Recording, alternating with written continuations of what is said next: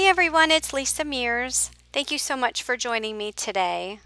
In today's video, I'm going to be making two cards. I'm going to be using the Spellbinders Clear Stamp and Die of the Month, as well as the Small Die of the Month. These are some subscription clubs through Spellbinders. They have several clubs, but these are two that I receive every month. And let's take a look first at the stamp set for the clear stamp of the month. It has this cute typewriter and it has some flowers and some greenery. There are some sentiments there that say be bold or italic, never regular. You push all the right buttons. Once upon a time, I'm typing this note to say thank you and happy birthday to the most amazing person. So for my first card, I am going to color the typewriter up with some of my Copic markers. So I'm stamping out the images with my Memento Tuxedo Black ink onto some Spectrum Noir Ultra Smooth cardstock. And now after I've stamped the black and white images, I'm going to go ahead and take some of the leaves, which are the solid stamps, and I'm going to take my green ink pad and I'm going to stamp those out in green ink. So some of the leaves are a solid stamp, so if you ink them up with a colored ink, you can just get a solid image. So I have a lighter green that I'm inking them up with, so I'm going to go ahead and press that down really well. And I'm just going to ink them up one more time with this lighter green ink just to get a better impression. And then I'm going to come in with a little bit of a darker ink. These are the scrapbook.com hybrid inks and what I love about them is that they actually come in a series of like four different colors in a color family. So the first one I used was a number three. The second one is a number four which is the darkest in the color family and I just put that number four ink on the edges of those leaves just to get a little bit of a um, blended look in those leaves. So some of the leaves are darker on the edges. I'm going to go ahead and color this typewriter up in pink. I'm coloring it up with my Copic markers. I am using the R81, R83, and R85 on the typewriter. And I'm also going to color up the part of the typewriter with some gray inks and for the grays I'll be using my C0, C3 as well as my blender. And I will have a list of these colors down in the YouTube description box so if you want to duplicate any of these colors you can head on down there and take a look and see what those colors are. Now I do know that some of you out there don't like to color, so in my next card I'm actually going to take this typewriter and I'm going to stamp it out on some solid color cardstock and just use the image with some black ink but let the cardstock color be the color of the typewriter. And it will make for such an easy card. And I'll also do some heat embossing with some gold in my upcoming card as well. So stay tuned for that because you'll get a second look at another way of using this stamp. So here I'm just coloring up some of the parts of the typewriter in some gray tones. I didn't want to color it up all gray. I just put some dark, which is the C3, along the edges of the um, part of the keys on that typewriter. And then I left the majority of the inside white because I didn't want it to be completely gray. And you'll see here in a moment, I'm going to take my gold glitter gel pen and I'm going to actually color the keys. So this is just a glitter gold gel pen and I just thought adding some of that gold in there, just putting some gold in those keys, I think it adds a nice accent. I love that gold and pink together. I think it's so pretty. So I will have links down in the description box for the Spellbinders clubs. Keep in mind this is the clear stamp of the month. I'm also going to be incorporating the small die of the month. Spellbinders also has a card kit, which I did an unboxing of that on my YouTube channel recently. They also have a glimmer um, hot foil club of the month. They have a large die of the month. They have a brand new embossing folder of the month. And you can also choose if you wanted to get all of the clubs. I know they have a special for all of the clubs if you wanted to get all of them. But I will have a link down in the description box for those clubs if you're interested in taking a look at that. So when I first saw this typewriter stamp, I absolutely fell in love with it. I don't have any typewriter stamps and I love typewriters. They actually have a special place in my heart because I taught college typing for so many years. Even though I taught it on computers, I learned how to type on a typewriter and they just have a special place in my heart. So I think this stamp set is so cute. There's also a small rectangle die that will cut out the sentiments and once you cut out the sentiments on the little rectangle sheet of paper you can actually slip it in the top of the typewriter because when you die cut this typewriter it actually puts a slit along the horizontal center in that gray bar up at the top of the typewriter and you can actually stick the paper in it like you're typing something and the paper's coming out of the typewriter which is so cute. So if you belong to the club that you get this clear stamp with the dies, the dies will automatically put that slit in that typewriter. But if you just belong to the clear stamp of the month, you can still put that slit by just using a craft knife and you can do it yourself. So after I finished coloring my images, you saw me just take that gold glitter gel pen and I'm just tracing over some of the black areas of those images to add a little bit of gold glitter. Okay, so here's the dies. I went ahead and die cut all of those images out. And now I'm going to stamp out the sentiment, and the sentiment I'm going to use says happy birthday to the most amazing person.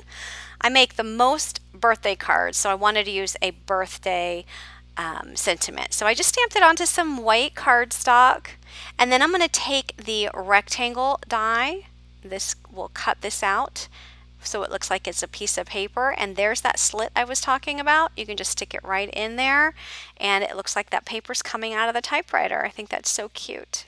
So this die is part of the small die of the month.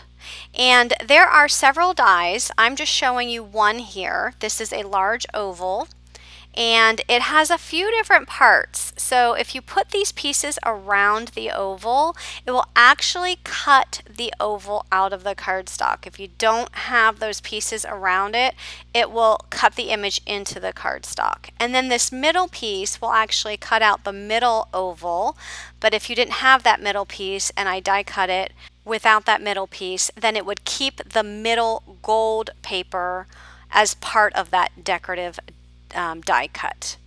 But because I put the middle piece in there, it cuts the middle piece out of the die. So you can see the whole inside is empty. Now I want you to take a look at the detail on there. Look how pretty that detail is. You can actually take some embroidery floss and if you wanted to do some stitching on this die, you totally can do that. Now this is a larger die that will fill the front of an A2 size card but there's also a die smaller than this which you can layer on top. And if you go to my unboxing video that I previously had on my YouTube channel, it will show you all of the dies included in the small die of the month. Okay, so here's the paper pad that comes with the card kit. And if you don't subscribe to the card kit, you can actually buy this paper pad separately and I will have a link down below in the description box in case you're interested in that. I'm actually going to take this inside piece and I'm going to die cut this pattern paper. This pattern paper is white with gold words. It actually has gold foiling on it. So I'm die cutting the inside piece because I'm going to put that inside of this oval. And I'm just trying to see what pattern paper I can use for the background. I was just trying to go through this paper pad to see what would look nice. I know I'm going to have my typewriter inside that oval, so I just wanted to pick a paper that I thought would complement that gold foil oval. And because I knew I was going to add the flowers around the typewriter, I didn't want to go with anything too busy, so I ended up picking a solid pink. So I have an A2 size white card base, and I cut down a piece of gold mirror cardstock to 4 and an eighth by 5 and 3 eighths. I did use a rectangle die to cut the center out just to save that piece from the center. And I added the gold mirror cardstock to the front of the card base. And then I cut down the solid pink pattern paper to 4 and an eighth by 5 and 3 eighths and I'm just adding that right to the top.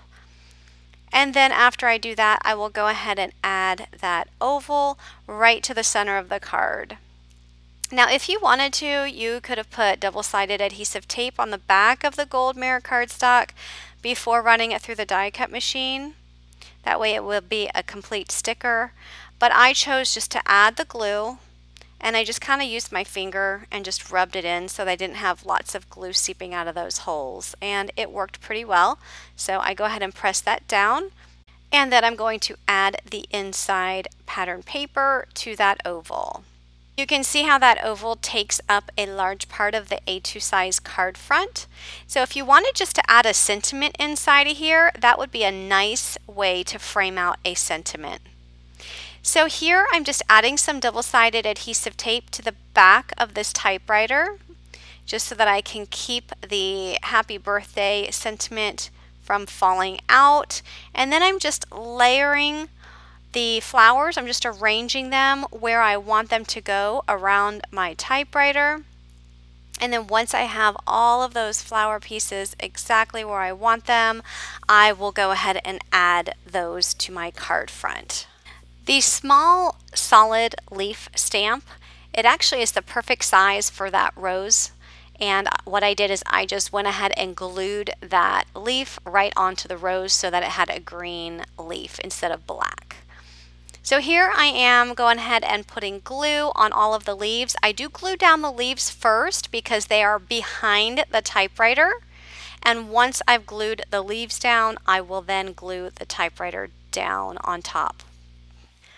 So here I'm going to go ahead and glue that typewriter down. I do peel back that double-sided adhesive tape that I had on the back of it and then just put glue on the rest.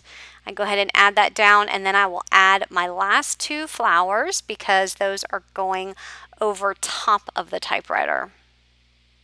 And I really love the colors in this card. I really love how it turned out. So for my next card, I'm taking the typewriter stamp and I'm just stamping it with some black ink on some solid blue cardstock. I'm getting a really nice impression. And the only coloring that I'm going to do is I'm going to take my gold glitter gel pen and I'm going to color up the keys of the typewriter just to add a little bit of color, but you don't really need to have any coloring skill to do this because I'm just coloring them in with a gel pen. And then I decide to do some of those other parts just to add a little bit of gold accent. I do color up the heart and then I just add some gold lines to the bottom of the typewriter where those black lines are. Pretty easy, so you don't have to have any coloring skill to do this. And then I'm going to go ahead and die cut that out with the corresponding die. I am going to bring in a piece of this floral pattern paper from the paper pad that came with the card kit. And I'm also going to bring in this little border die. This is also part of the small die of the month for February. If you use the decorative die by itself, it will put the decorative piece into the cardstock, but if you put the two outside edges around it, it will actually cut the border out of the cardstock. I'm not going to cut the border out of the cardstock completely. Instead, I just want to cut the bottom part of the cardstock off. So what I'm doing is I have this pattern paper that I cut down to 4 and an eighth by 5 and 3 eighths and I want to have the edge at the bottom of the paper. So what I'm going to do is I'm just going to make sure this die is straight and I'm going to tape it down once I have it straight. Now if I just die cut it now with just that die, it's going to put that decoration into the cardstock. It's not going to cut it out. But if I add the bottom part of this die, it will only cut off the bottom part of the cardstock and it will leave part of that die cut into the cardstock and you'll see that here in just a moment.